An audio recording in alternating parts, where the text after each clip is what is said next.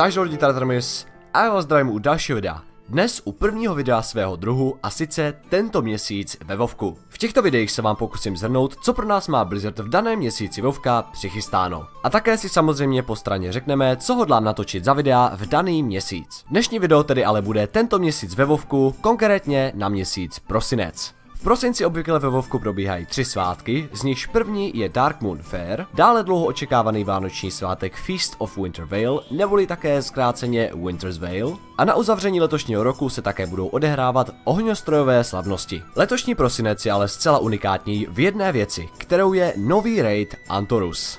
Raid Antorus představuje jednu z posledních velkých příběhových částí datadisku Legion a přinese nám epické zakončení příběhu tohoto doposud úžasného datadisku. Antorus byl otevřen již 30.11., ale to se týká pouze jeho normální a heroické obtížnosti. Mythic obtížnost se otevírá 5.12. a společně s ní i první křídlo Antorusu pro Looking for Raid. Nová křídla pro Looking for Raid se otevírají každé dva týdny, druhé křídlo tedy 20.12., třetí 3.1. a poslední křídlo 17.1. Nutno říct, že Antorus je dle mého náramně zpracovaný raid a obrovsky jsem si jeho procházení užil, takže ano, už jsem Antorus sám dodělal. V tomto videu ale bez spoilerů, takže úplný rozbor raidu Antorus budete moci čekat v nadcházejícím videu. Přecházíme na Dark Moon Fair. Dark Moon Fair bude jako obvykle probíhat v prvním týdnu měsíce. Tentokrát začíná 3.12. a končí 9.12. s tím, že událost se zahajuje i končí ve stejný čas a sice v 8 hodin ráno. Dark Moon Fair je opakující se svátek s tématikou zábavního parku, který do světa přináší spoustu unikátních daily questů a zábavných odměn v podobě hraček,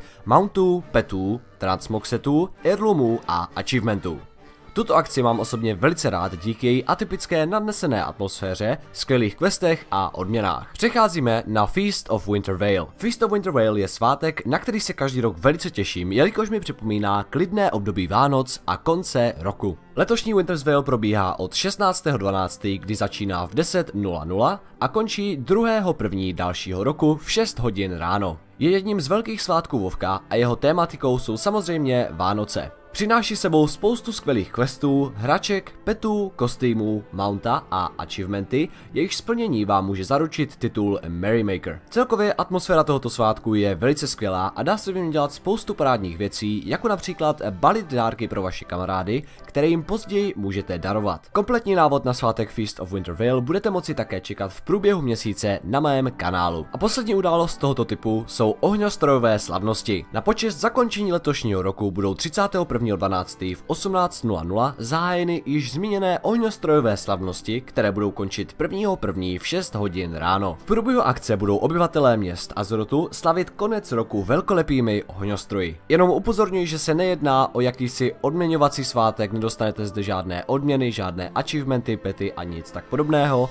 Je to spíše svátek v kategorii mikrosvátků. Také se podíváme na postranní akce tohoto měsíce. Letošní prosinec bude také unikátní v několika dalších akcích akcích. Tyto akce jsou například PvP Brawly. PvP Brawly jsou neobvyklými PvP akcemi, které sebou přináší zábavné změny pravidel různých battlegroundů. První je Arathi Blizzard, který běží od 29.11. až 6.12. Jde o zasněženou verzi Arathi Basin se sníženou dohledností. Od 13.12. do 20.12. běží bonusový event pro arény, díky kterému za skirmishe budete dostávat více honoru než obvykle. Gravity Labs začíná 13.12. a končí 20.12. V tom tomto brawlu se hraje na mapě Eye of the Storm, kde jsou hráči opakovaně vyhazováni do vzduchu. Warsong Scramble je poslední brawl tohoto měsíce, začíná 27.12. a končí 3.1. dalšího roku. Jedná se o Warsong Gulch s tím, že týmy musí pro výhru zabrat pět vlajek, ale zároveň u toho nemusí mít jejich vlastní vlajku v bázi, čili hráči speedrunují a snaží se co nejrychleji zabrat pět vlajek. Ještě k tomu se ale na bojišti náhodně spawnují různé bonusové buffy pro hráče. A také v prosinci budou probíhat dvě akce typu Time Timewalking. Timewalking jsou akce, ve kterých se hráči mohou vydat do dungeonů, někdy také raidů z předešlých expanzí se zvýšenou obtížností, která odpovídá opravdovým úrovním jejich postav. První z nich je kataklizmový, ten běží od 6.12. do 13.12. a druhými jsou dungeony z Mists of Pandaria, Ty běží od 27.12. až do 3.1. V Time Walkingu budou hráči moci získat speciální odměny nebo reputace, které odpovídají tématice daného datadisku. A v neposlední řadě bude probíhat questová akce. Od 20.12. do 27.12. bude také probíhat speciální questová akce, díky které budete zaplnění World Questu získávat bonusové reputace. Tato akce také nabízí quest, který naleznete v průběhu události ve vašem Adventure Guideu. Quest vám dá za splnění 20 World Questů 5000 surovin do vašich order hallů. A to je tak zhruba vše, co pro nás Vovko tento měsíc chystá. Teď pár věcí ohledně toho, co plánuji na kanále tento měsíc. Jak jste si již nejspíš všichni všimli, podle intra tohoto videa kanál dostal speciální sezónní úpravu v podobě nového intra, outra, kanálové grafiky a avatara. Dělání takovýchto sezónních úprav na původní tématiku mého kanálu mě neskutečně baví, tak doufám, že se takovýchto dočasných změn na mém kanále všímáte a že se vám třeba i líbí. Určitě mi dejte vědět v komentářích. Z toho, co nás čeká tento měsíc za videa, bych vypíchl toto. Obrovsky se těším na Winter's Veil a doufám, že se těšíte na jeho rozbor. V průběhu měsíce totiž plánuji vydat již zmíněný návod na tento svátek. Dále bude vydáno již zmíněné video z raidu Antorus, kde se podíváme zejména na příběhovou část, na to, jak se mi dané encountery líbily a případně i nějaké mé rady, jak daného bose zdolat.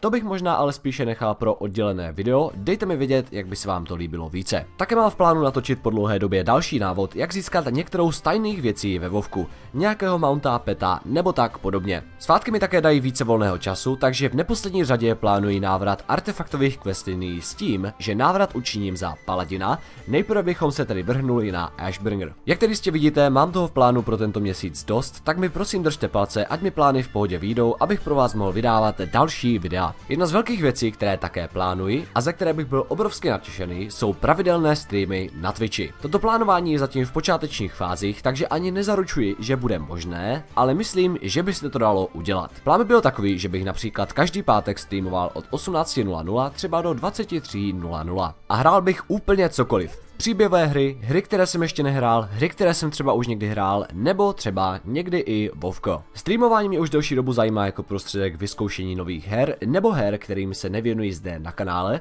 proto si tedy myslím, že bych se hlavně na Twitchi věnoval jiným hrám, než je Vovko. Také si myslím, že by to byl skvělý způsob, jak vám všem, mým divákům, ukázat některé skvělé hry, o kterých jste třeba ještě ani neslyšeli. O plánu pravidelných streamů vám budu dávat vědět zde na kanále a také na mém Twitteru, takže určitě se dívejte. Na Twitchi jsem také kompletně vymazlil kanálovou grafiku, pozadí při neaktivitě, odkazy pod streamem, příkazy botů, skoro všechno. Myslím, že tato nová grafika se velice povedla. Co myslíte vy? Určitě mi dejte vědět v komentářích. Pokud mě tedy ještě nesledujete na Twitchi, doporučuji zde zavítat, odkaz je www.twitch.tv Atremis, také ho naleznete v popisu videa. Obrovsky vám děkuji za vaši přízeň a neutuchající podporu. Je šílené vůbec pomyslet na to, že se kanál blíží k pěti tisícům odběratelům.